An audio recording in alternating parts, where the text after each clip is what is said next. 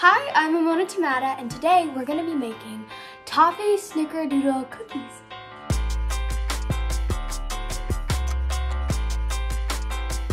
Okay, so the first thing we're gonna make is a toffee. And for the toffee, you're gonna need a quarter cup of granulated sugar and a tablespoon of butter.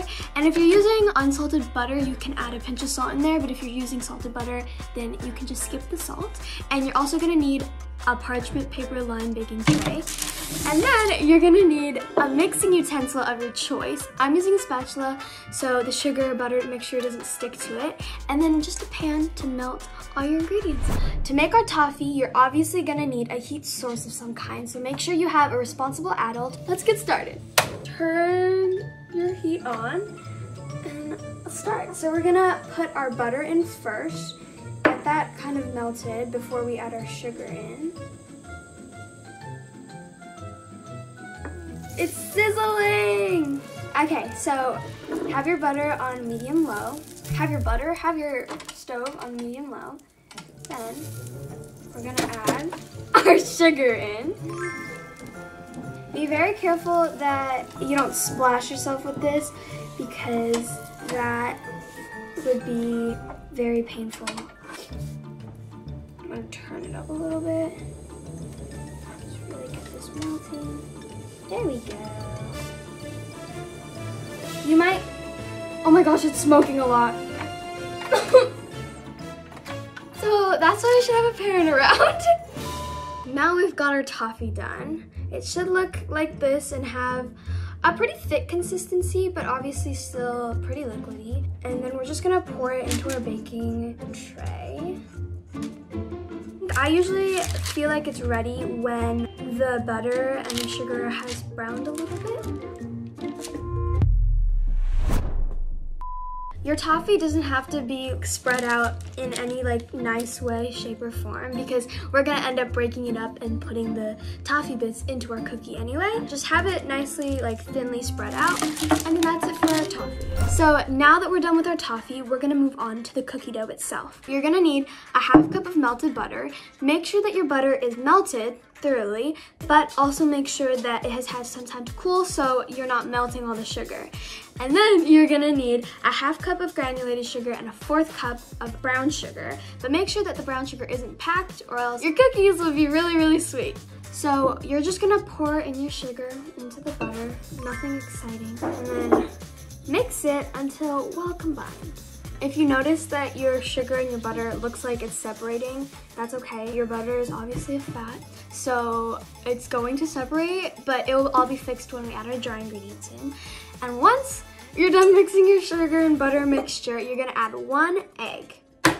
But make sure that your butter is fully cooled or else, oh no, I got a shell! Make sure your butter is fully cooled or else your eggs will literally scramble and then you don't want to have scrambled eggs in your cookies because that won't be good.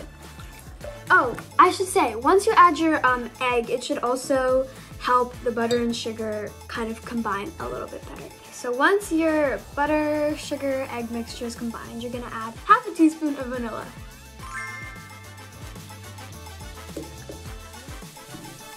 Now on to our dry ingredients. So for our dry ingredients, you're gonna need one and a half cup of flour, and then you're gonna need half a teaspoon of baking powder, half a teaspoon of cream of tartar, a quarter teaspoon of baking soda, and then a little pinch of salt now that we're done mixing both our dry ingredients and our wet ingredients, we're gonna mix them together. So I like to add my dry ingredients in like thirds, I would say, just so that you don't get flour everywhere and also so that there's no like clumps of flour in your dough because that's not nice. And make sure before adding your second pass of flour, the mixture is well combined and you are free of any random lumps of flour.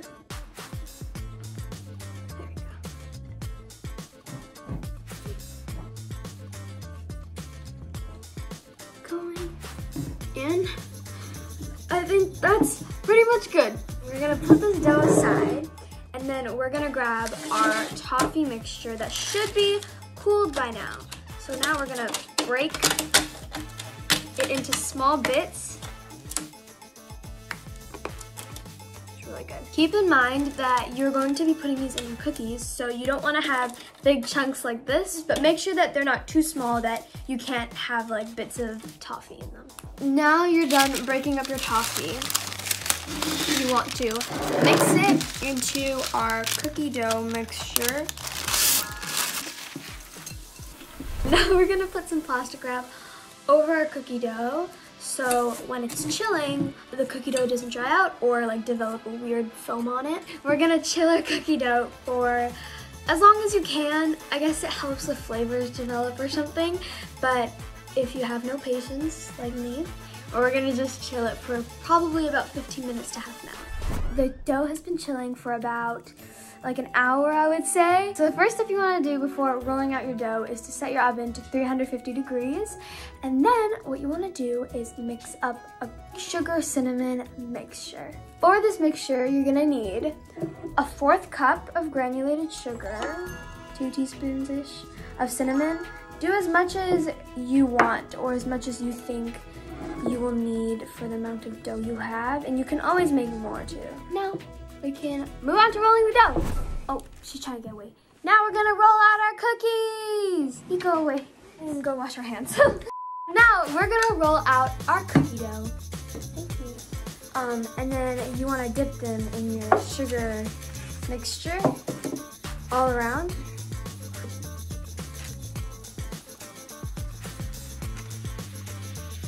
Now we've put all of our cookies on a baking tray.